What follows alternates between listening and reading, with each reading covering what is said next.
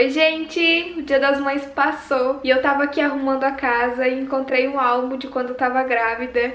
Comecei a ver as fotos e lembrar de todos aqueles momentos que eu vivi com o Miguel na minha barriga. E é incrível quanto a gente passa a viver por eles e pra eles. E não tem coisa melhor no mundo do que ver o Miguel bem e com saúde. E eu fui convidada pela Sociedade Brasileira de Imunização a falar o quanto a vacinação já na sua gravidez é tão importante para o bebê, porque ele herda anticorpos da mãe, que são essenciais para sua proteção contra doenças infecciosas graves. E eu sou daquelas pessoas que morre de medo de vacina, de injeção, de tudo que envolva agulha, eu tenho muito medo. E quando eu tava grávida, já ali no comecinho, a minha médica passou vários exames para me fazer e também me alertou para essas vacinas. E na hora a gente esquece dos nossos medos e pensa só naquele serzinho pequenininho que tá crescendo ali todo dia. E eu vim aqui falar para vocês alguns mitos que existem ainda sobre essa vacinação na gravidez. E o primeiro mito é que a vacinação traz riscos ao bebê. O segundo é que a vacinação adoece. E o terceiro, que eu acho que todo mundo acredita nele, que a vacinação não é necessária se você não está em situação de risco. Então isso também é um mito. E o quarto mito é que a vacina de influenza dá gripe. E a verdade é que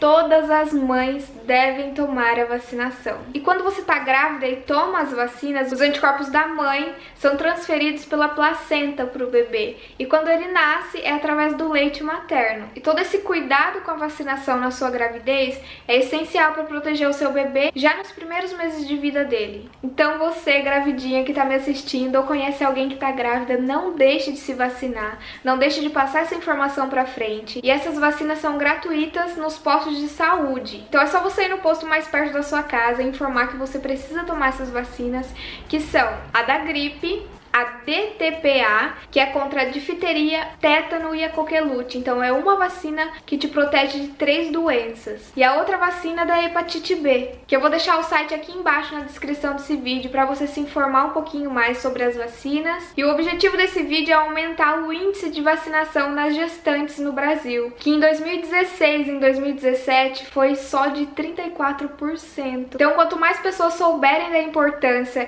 e o quanto a vacinação pode salvar vidas, a gente vai conseguir mudar esse índice no Brasil. E eu fiquei impressionada com o quanto de mães que deixam de tomar essas vacinas por acreditar nesses mitos que eu falei para vocês. E foi graças a essa vacinação que o Brasil conseguiu eliminar a rubéola e a síndrome da rubéola congênita, assim como o tétano materno e o tétano neonatal. Mas a gente ainda tem muito para melhorar. E a maior parte das mortes por coqueluche é em bebês com menos de um ano de vida. Por isso que a vacinação da gestante é essencial para a gente poder esse quadro aqui no Brasil. Então, por favor, você que tá grávida, se você conhece alguma amiga que esteja grávida e não sabe dessa informação, por favor, compartilhe esse vídeo com ela. Eu vou deixar todos os links aqui embaixo para você entrar. Tenta se informar um pouquinho mais.